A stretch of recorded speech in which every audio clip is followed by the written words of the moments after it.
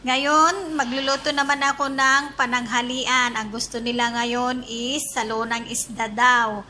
Eto, eto ang isda namin, ang gagamitin naming isda. Eto, sherry. Ito kasi ang tawag nila dito, sherry na isda. Parang ano bang to, kamukha ng tilapia. Pero hindi naman siya tilapia, sherry siya. Sa mga ibang bahay, iba-iba kasi ang style ng pagluluto nila ng salona. Dito sa amin, eto mga kailangan namin may sibuyas, paggisa, tapos kamatis, bell pepper, may darcini stick siya, lemon na yung dried lemon, yung hale na buo, paminta na buo, at saka yung parang na black na dried na bulaklak. Miss Mark kasi ang tawag nila dito eh, cloves pala siya sa English, cloves. Tapos meron kaming uh, coriander leaves, tapos eto, pinag-isa-isa na lang namin yung mga spices niya. Ang isda pala, minamarinate namin ng ano, coriander powder, cumin powder, turmeric powder, asin, tapos nilalagyan din namin ng lemon juice. Sinasama ko na tong buo niya na lemon juice. Tapos nilalagyan din namin ng uh, garlic and ginger paste. Yan siya. Tapos ilagay mo lang ng mga 1 hour bago mo iprito. Ang isda pala namin, piniprito namin muna siya bago namin iluluto na ano isasahog na namin sa gagawing naming sauce. Sa mga ibang bahay kasi, hindi na nila piniprito pero kami piniprito pa. Isda, inaano muna namin sa sa harina, yan, ganyan siya, bago namin iprito. Para pag uh, niluto mo na siya, yung flour niya magiging malapot na yung sauce ng, ng ano mo, ng salona mo. Kaya nilalagyan namin ng flour bago iprito. Yan siya, oh, ganyan siya. Prito namin, kahit na hindi siya masyadong toasted na pagprito, yung toasted na klase ng pagprito, kahit hindi ganon, yung mga slight lang, slight na pagprito. So, ipiprito natin siya lahat ng isda, iset aside. Pag naprito ng lahat, iset aside natin. O, ganyan siya. Ito na yung isda natin. Ang gagawin natin ngayon is maggisa na ng sauce niya. Gisa na tayo yan. Siyempre, sibuyas muna.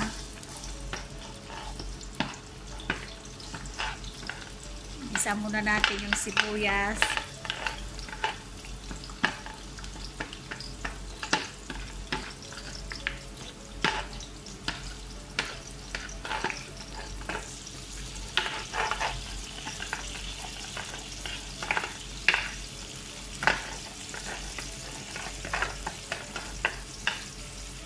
eh, gisa-gisa, gisa-gisa natin hanggang maging golden brown siya.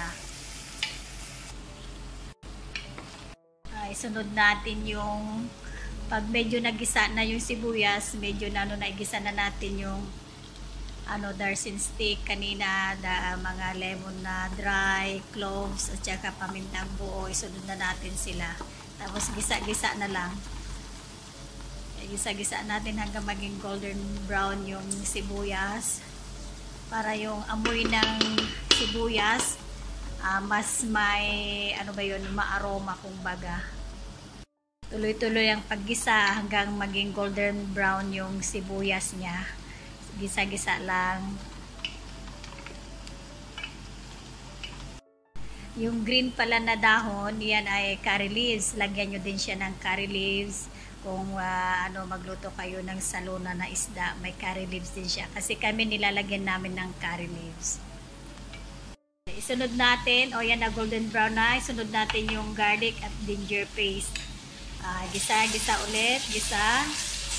Tapos sandali lang siya, basta ano na yung amoy niya, kasi medyo masusunog na yung sibuyas natin pag itagal pa. Tapos isunod natin ang kamatis at saka bell pepper. Unahin muna natin itong uh, kamatis na fresh tapos yung kamatis na frozen yung kanina. Ayan siya. Okay, gisa-gisa ulit hanggang uh, maluto yung kamatis at saka bell pepper natin mga 5 minutes na gisa-gisa lang Ayan siya, gisa-gisa mo lang. Mamaya na yung ano frozen na nagiling na kamatis kasi matubig siya kaya okay lang na mamaya muna. Pero pag fresh na kamatis ang gagamitin nyo, yung fresh na ano kamatis, pwede nyo siyang isabay-sabay lahat dito. Pero kami, may frozen kami na kamatis na naging tubig-tubig na, so mamaya pa. Sandali. Tapos yan na, lagyan din pala natin siya ng tomato paste. Buhos mo lahat isang packet na tomato paste. Yan. Tapos gisa-gisa mo ulit. Halo-haluin. Yan siya. O gisa, gisa-gisa. Hanggang medyo maluto-luto na rin yung tomato paste. Nagmanti-mantika na siya. Kasi may tomato paste na pag niluluto mo, parang nagiging red-red ba siya. Tsaka kung nahihiwalay na yung mantika niya, mantika ng niluluto mo, yan siya, ganyan siya. Sige, eh, halo-haloin ng mga 2 minutes.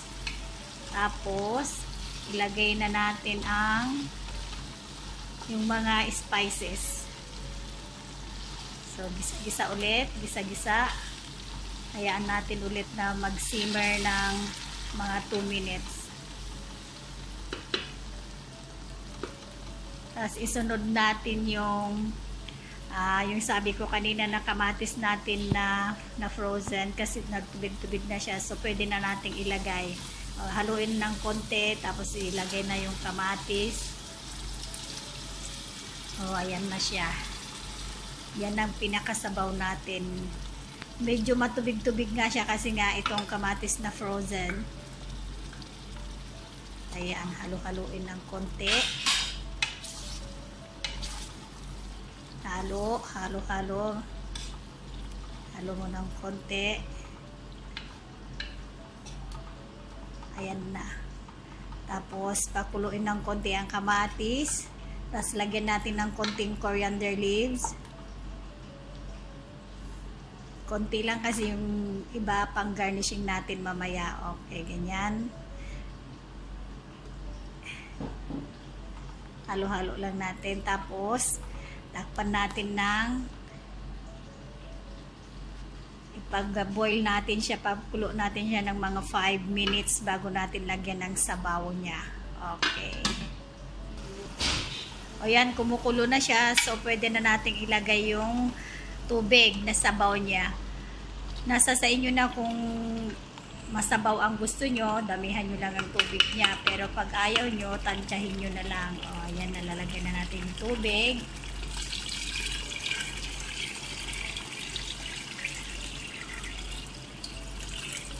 Tapos, hintay na naman natin kumulo bago natin ilagay yung isda. O, yan siya. Yan ang sabaw ng isda natin. Antayin natin kumulo tapos yung isda nang susunod. O, yan na kumukulo na siya kaya pwede na nating ilagay yung isda. Yan, iayos muna natin. Mauna yung mga malalaki para hindi siya madurog. Yan siya, lagay natin lahat. Tapos, iluto natin, pakulo-pakuluin siya. Hindi na natin kailangang iluto ng matagal kasi naprito naman na itong isda kanina ng slight lang. Kaya hindi na siya uh, kailangang iluto ng matagal. Hanggang mag-boil lang siya mga 10 minutes. Uh, pwede na timplahan na natin. Pag uh, after 10 minutes, nagkulo-kulo na siya, timplahin na lang natin. Tapos yun na, luto na siya. So ngayon, kailangan muna natin ipaboil ng mga 10 minutes takpan ulit natin tapos i-boil-boil natin ng 10 minutes oh eto na siya ga ano pwede nang timplahan kasi 10 minutes na siya pwede na siyang uh, luto na siya na luto na huwag nating i-overcook kasi madurog-durog yung isda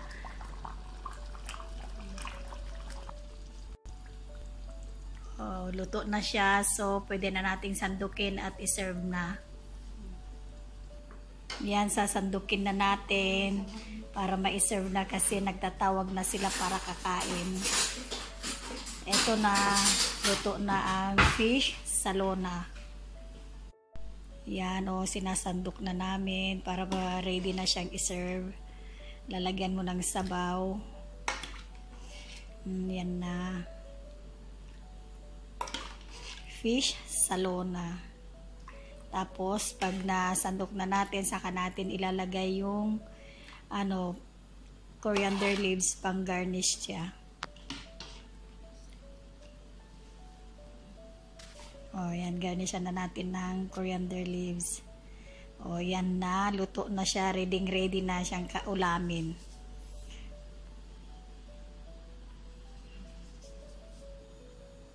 Mm, ito na siya, mm, yummers. Fish Salona.